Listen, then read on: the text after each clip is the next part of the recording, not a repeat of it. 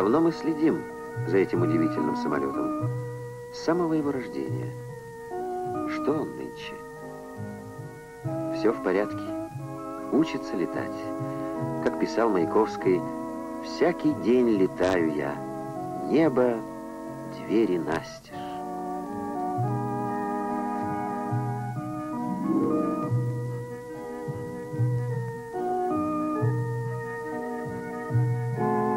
Заводских ворот выходит самолет не просто новый, но принципиально новый, этапный, открывающий эру сверхзвуковых пассажирских полетов. Пока что в мире производятся только две машины такого класса. Советский Ту-144 и англо-французский Конкорд. Они прокладывают лыжню для всех.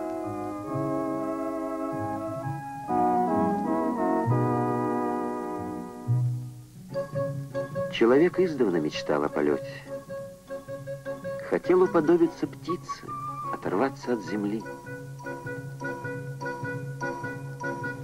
В этих смельчаках, мечтателях жила уверенность. Небо удержит их. Должно удержать. На смену одним героям приходили другие, и мечта жила и становилась явью. Странно, как в сущности недавно это было. Все эти машины появились на протяжении одной человеческой жизни.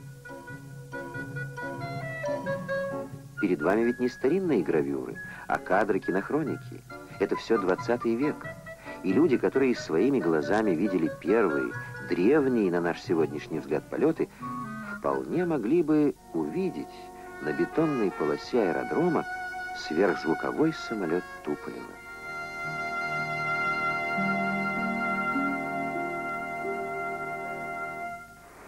Мы на Воронежском авиационном заводе.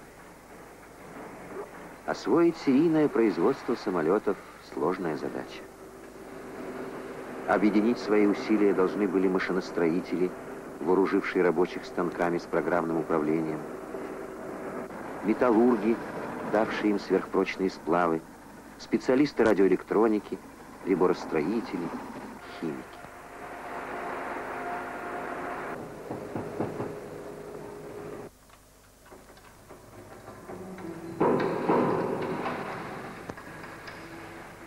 Авиация – средоточие новейших завоеваний научно-технического прогресса. Ее уровень есть зеркальное отражение всего промышленного развития страны. Ту-144 производится серийно. Вот главное событие, происшедшее в жизни самолета. Вы можете сравнить. Так это выглядело в 20-х годах. Таков был уровень. И не надо снисходительно улыбаться. Этот лонжерон честно послужил в свою пору. Ну, конечно, что и говорить. Новый лонжерон, предназначенный для сверхзвукового крыла, он и побольше, и помощнее, 10 метров. И это еще не весь лонжерон. И вот уже собрана часть могучего треугольного крыла. Приглядитесь, это первый его полет.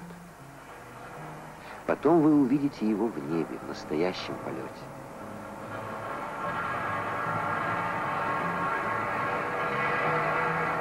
Идет монтаж. Осуществляется сборка, и, как всегда, с каждым новым самолетом, сходящим со стапелей, работа движется все увереннее, слаженнее, лучше.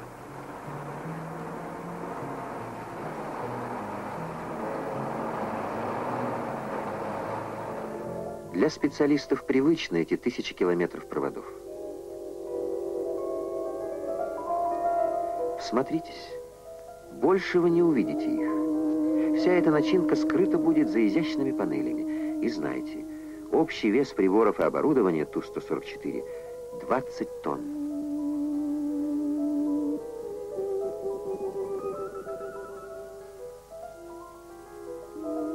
Силу лететь дадут гиганту четыре двигателя небывалой мощности. Они созданы под руководством известного советского конструктора, героя социалистического труда Николая Дмитриевича Кузнецова.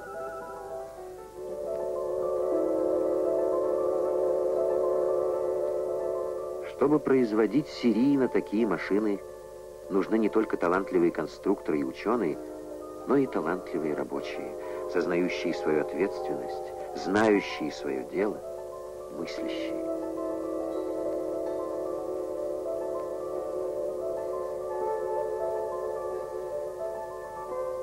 И вот итог коллективного труда. Встал на ноги, расправил крылья наш гигант. Не уникальный, не единственный, а всего лишь очередной. Да, человек мечтал о полете. В небе планер, который сконструировал студент Московского высшего технического училища Туполев еще в 1909 году. Он сам и летит на нем. Самолет АНТ-1, от которого поведут свою родословную все туполевские машины. Это 22 год. А это 1972. В Кремле председатель Президиума Верховного Совета СССР Николай Викторович Подгорный вручает старейшине советских самолетостроителей академику Андрею Николаевичу Туполеву высокую награду – третью звезду Героя социалистического труда. Какой огромный пройден путь! Как быстро пролетело время! Более полувека он создавал самолеты, и были среди них первые в Советском Союзе цельнометаллические, первые многомоторные, первые тяжелые, дальние.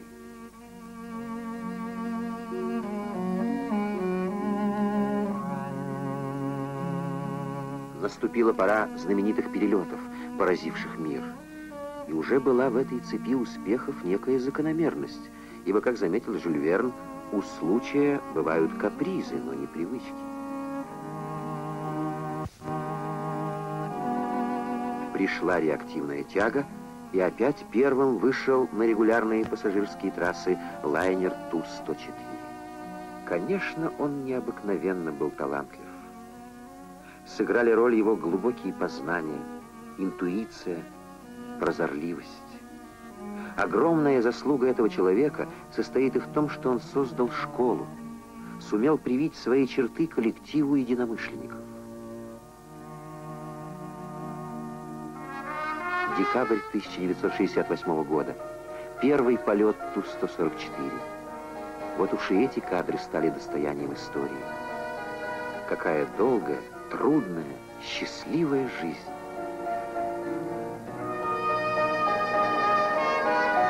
Этой машине суждено было стать одной из последних в жизни великого самолетостроителя.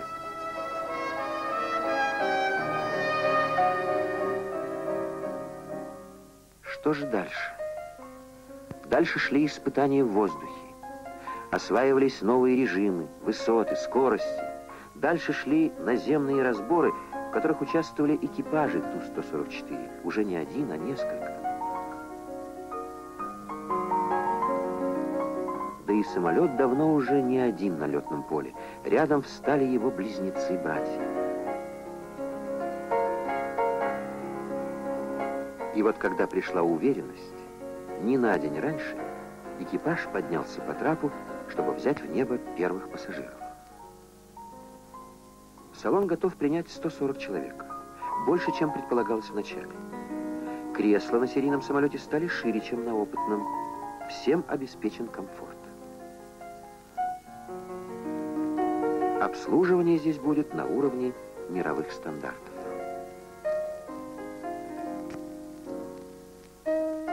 Итак, когда вслед за звуковым барьером взят был, если можно так выразиться, барьер уверенности – пришли на аэродром первые пассажиры. Это журналисты московских газет, работники кинохроники. Их пригласил участвовать в полете генеральный конструктор профессор Алексей Андреевич Туполев.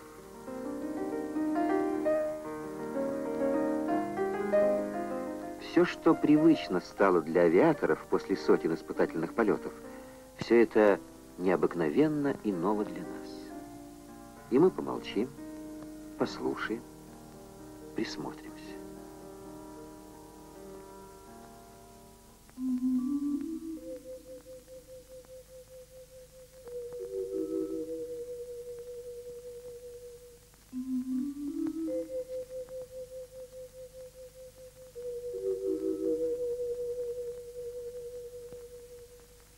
Радуга 77-101. Разрешите занимать исполнительный старт? Борт 77-101 разрешил. Вас понял, разрешили. Занимаем исполнитель. Выруливаем.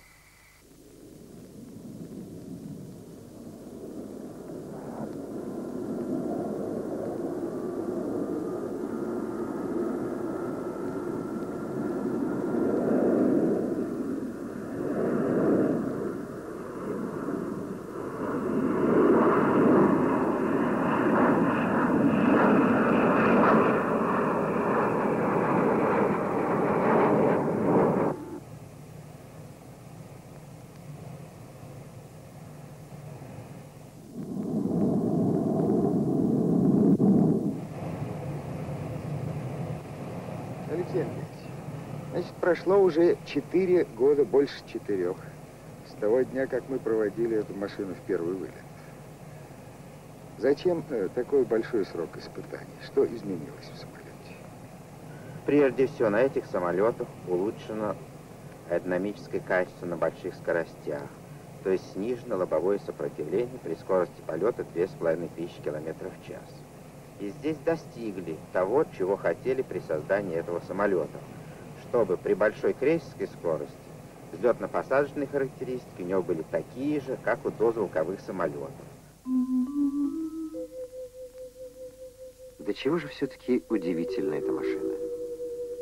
Передние дополнительные крылья – только одно из нововведений. Всего на полтора процента увеличивают они площадь крыла, а подъемную силу на взлете и на посадке повышают на 20%.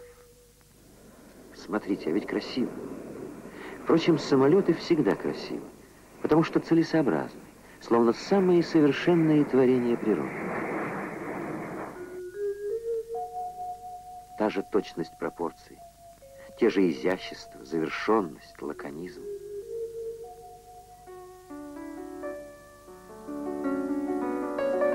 И это, судя по всему, оценила делегация французских самолетостроителей, которую возглавлял президент фирмы «Аэроспасьяль» Анри Зиглер. Гости из Франции приезжали в Воронеж. Наши специалисты были в Тулузе, где строился «Конкорд». Такие контакты, обмен опытом, помогают общему движению вперед. Еще одно нововведение. Изменено шасси Ту-144. Колеса стали мощнее, Смотрите, они ведь принимают на себя 120-тонный груз. Вот так. И снова. Все-таки легко садиться. Шасси и прежде было абсолютно надежным. Это доказано множеством посадок. Но четыре года жизни не прошли даром для самолета. Вобрав в себя последние достижения советской науки и техники, он вырос, окреп, возмужал.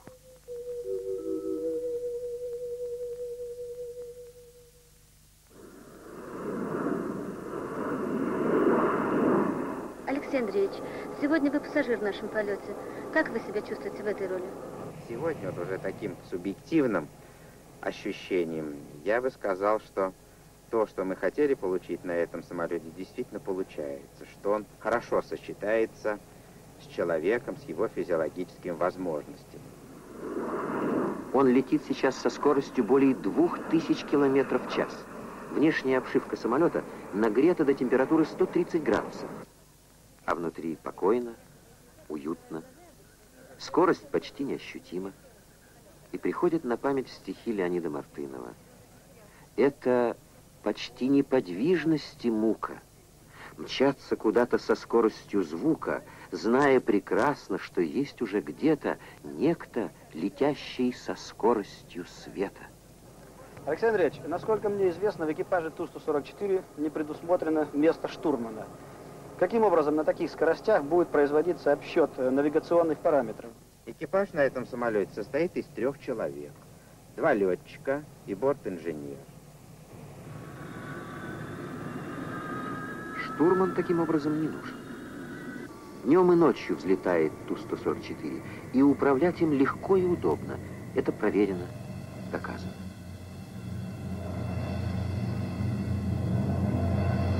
Есть бортовое счетно-решающее устройство. Есть автоматы, которые помогают не только строго выдерживать курс, но и выбирать оптимальный режим полета, рассчитывать высоту, скорость, заходить на посадку. Их четверо, пока идут испытания, но в будущем всего три члена экипажа поведут гигантский корабль.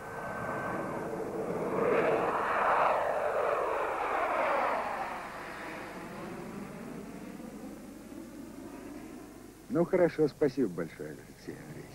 Один вопрос последний. Для чего все это нужно? Куда мы все торопимся?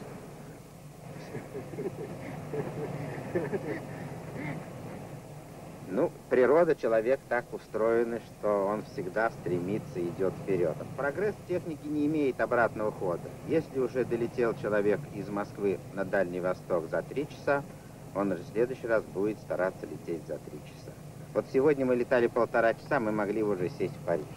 Я думаю, что в следующий раз мы так сможем и сделать. Да, прогресс обязателен, непреоборим. Прогресс в технике обратного хода не имеет. Только вперед. Так уж устроены мы люди.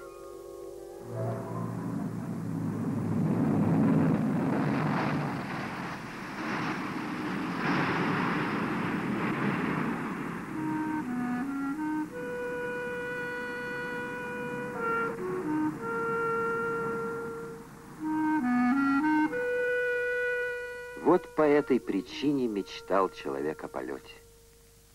По этой причине покорил он небо, сократил земные расстояния, и вот уже двойная скорость звука стала покорна ему. По этой причине выходят за заводской порог все новые могучие близнецы-братья. Пройдет немного времени, и добытые героями высота, дальность, скорость станут доступными для всех. Будут подарены нам с вами обыкновенным людям.